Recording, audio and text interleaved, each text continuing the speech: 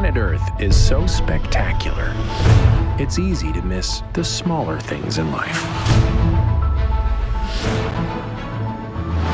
Strawberry dart frogs are tiny little frogs with a lot of personality and they're only about the size of my thumbnail. We've brought this lens that's really meant for scientific purposes and that allows us to get shots that we wouldn't have been able to otherwise. For days we've been trying to get shots of two males wrestling because the males are territorial and quite competitive and all of a sudden these two males lock and they start going at it. And it got to the point where they actually jumped on the lens and as a wildlife filmmaker, you're always striving to film really natural behavior. So that was just amazing. I have quite a good amount of respect for goshawks. Like it is really, really hard to fly through this forest. They're not just trying to survive and try just not to hit a tree. They're hunting. All right, let's go. Goshawks fly 50 miles an hour through here. Like that must take incredible amounts of energy and focus. You don't just do that easy.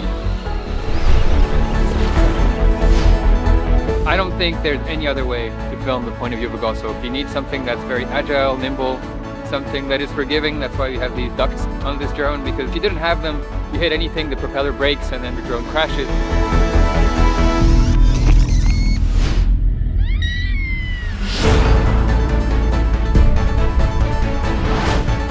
The golden tail gecko. Now I've been working with this gecko for the last three years, trying to film it in the wild.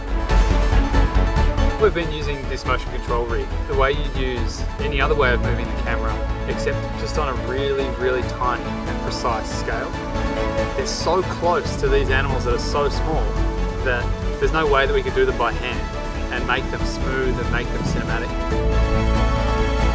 I think it's actually a really powerful storytelling tool because you can be so specific with your shots and you can literally take the story from one beat or one location to the next.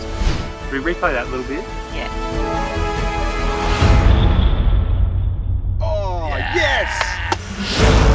See the world from a new perspective. Tiny World.